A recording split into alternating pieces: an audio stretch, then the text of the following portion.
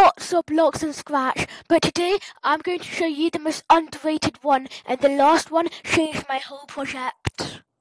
Okay, so this first one is the mod block. Not a lot of people use it because everyone thinks that it's just another complicated useless math block. But it's actually super simple. So basically, it's just the remainder of a division. What I mean by that is, for example, when you do 10 and when you do 3, then after that it's going to say 1. Because 3 goes into 10 three times, so then after that there's one remainder. If, for example, if you do it 4, then after that there's going to be a 2. Because 4 goes into 10 two times, and then there's a remainder of 2. You may be thinking, how is this block useful?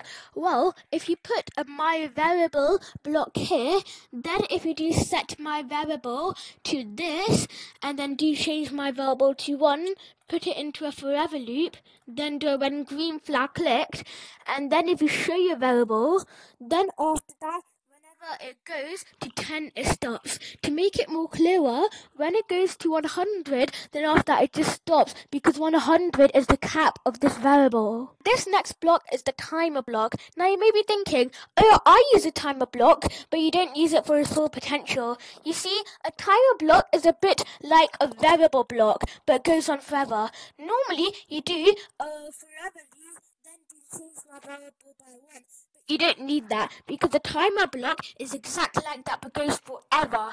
And even when you stop your project, the timer block still goes on.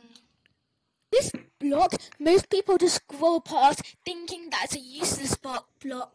Well, it really isn't. You see, on this block, you can check your sprite, and then you can check the X position, Y position, direction, costume, costume name, size, and volume.